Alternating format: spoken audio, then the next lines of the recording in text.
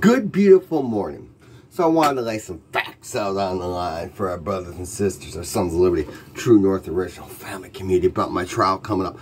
Because of course, I'm firing my, my piss, piss poor putz, Gary Gilo, of a public defense attorney. He's never once defended my best interest, never had a care for my best needs, and has no clue who I am and what and what kind of man I am. So, the honest truth is, I've had this resolute thought in my head ever since July 5th that the only way, the only way this is going to work for me is, is if I take it to trial and I represent myself. Now, don't take this cocky, don't take this arrogant one. I spent over three years, countless hours. I spent uh, at least 20 hours on the stand. I have what you call jailhouse experience and jailhouse lawyer etiquette to know how to properly run, operate, and function in a courtroom.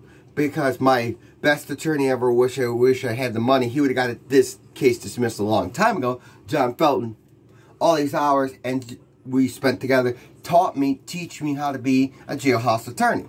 So, you're only as smart as you think you are, but the fact remains true. If you want to bring the truth to light, and what is done in the dark will be brought to the light, well, there's only one way you know how to do that. Because 2020 was a fucked up year. And you're using my daughter as a character witness, and the fact that they say it's a hug that lasts for 10 minutes, I licked their neck. Well, brothers and sisters um, uh, my of the Sons of Liberty True North Original Community, I'll give you one hug that lasts 10 minutes and you lick her neck. Now you figure it out. So, and River's witnessing it? Come on.